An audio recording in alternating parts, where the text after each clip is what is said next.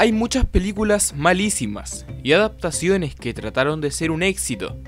Sin embargo, fueron un rotundo fracaso.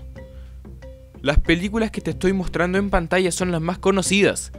Pero ¿qué sucede si te digo que hay una película tan mala, y ojo, que es del año pasado, 2014, que en vez de convertirse en una de las mejores películas, se convirtió en una vergüenza ajena difícil de digerir?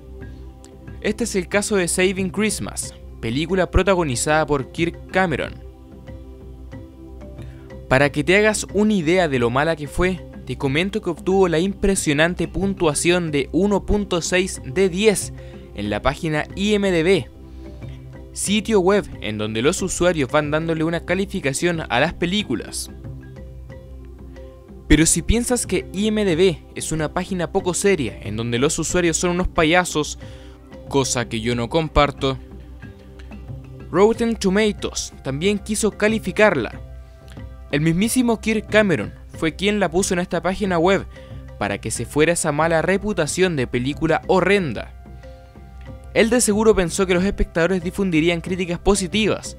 Sin embargo, la campaña no dio resultado y esta página web dedicada al mundo cinematográfico volvió a ponerle una puntuación, para decirlo de manera suave, mediocre. Saving Christmas recibió nada más ni nada menos que 0% de 100. Y es que no es para menos. Te leeré la reseña y quiero que me dejes tu opinión en la caja de comentarios. Kirk está disfrutando de la gran fiesta anual de Navidad, auspiciada por su hermana, hasta que se da cuenta de que tiene que ayudar a Christian, su cuñado, que tiene un mal caso de decepción festiva. Kirk echa una mirada fresca a la Navidad cristiana que ofrece la oportunidad de ver a Cristo en donde siempre ha debido estar, en el centro de las fiestas y tradiciones navideñas.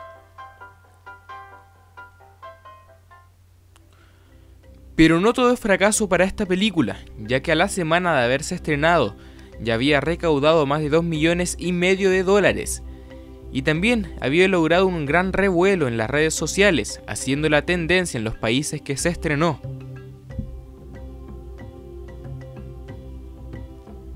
Es así como Saving Christmas se convirtió en una de las peores películas de cine jamás realizada, y en su tiempo alcanzó a estar en el puesto número uno de la película con peor calificación.